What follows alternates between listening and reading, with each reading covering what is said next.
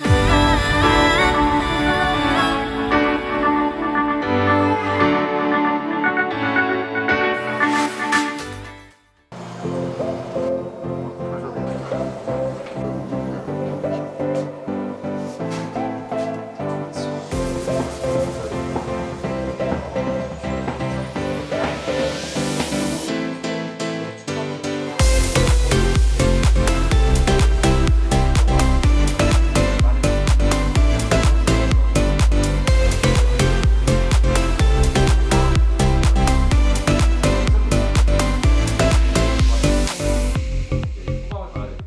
저는 국립재활원의 임명준 연구사입니다. 저는 연세대학교 maker space i7 김송희입니다. 저는 인천에 있는 그 자세 유지 기구 센터에서 어, 근무하고 있는데요. 보통 보조기기에 대한 부분들이 그 장애인 당사자들한테 굉장히 필요한 부분인데 이런 다양한 maker space들에서 어떤 기기들을 개발하고 있는지를 다른 분들의 아이디어도 듣고 하기 위해서 이 자리에 참여를 했습니다.